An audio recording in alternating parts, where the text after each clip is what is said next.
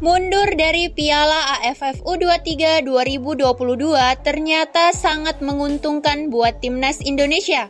Namun sebelum kita lanjut, mohon luangkan jari Anda untuk menekan tombol subscribe dan nyalakan lonceng notifikasinya agar kalian gak ketinggalan berita menarik dari channel ini. Kalau sudah, kami ucapkan terima kasih.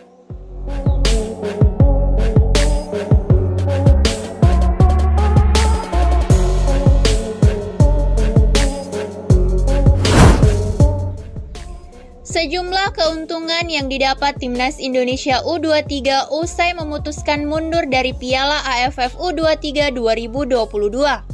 Apakah itu? Berikut ulasannya.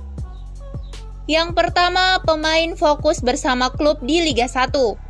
Penyelenggaraan kompetisi domestik yakni Liga 1 2021-2022 menjadi salah satu aspek penting untuk melahirkan pemain timnas yang berkualitas. Oleh karena itu, pemain-pemain muda yang batal tampil di Piala AFF U23 2022 bisa kembali ke klubnya masing-masing untuk menyelesaikan gelaran Liga 1 2021-2022. Yang kedua, pemain cedera fokus pemulihan. Sebelum berangkat ke Piala AFF U23 2022, ada sederet pemain timnas Indonesia U23 yang mengalami cedera.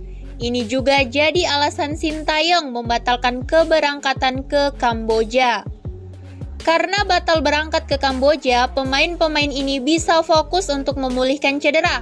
Setelah sembuh, mereka bisa kembali tampil bersama klubnya masing-masing. Yang ketiga, pemain yang terjangkit COVID-19 bisa sembuh.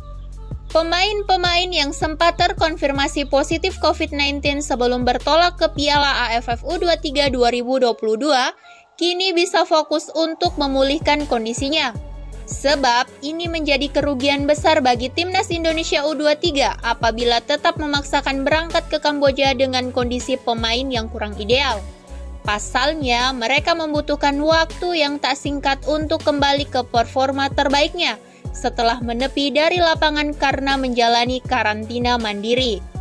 Oleh sebab itu, keputusan mundur dari Piala AFF U23 2022 adalah langkah yang positif bagi Sintayong dan para pemain timnas Indonesia U23.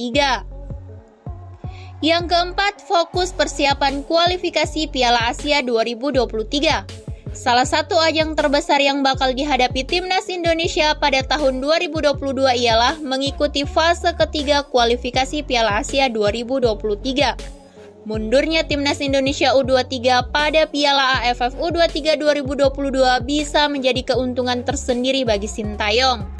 Bisa fokus untuk mempersiapkan timnya di kualifikasi Piala Asia 2023. Bagaimanapun juga, Piala Asia 2023 memiliki level yang jauh lebih tinggi ketimbang turnamen regional usia muda seperti Piala AFF U23 2022. Bagaimana menurut kalian? Cukup sekian berita yang kami rangkum. Sampai jumpa di berita selanjutnya.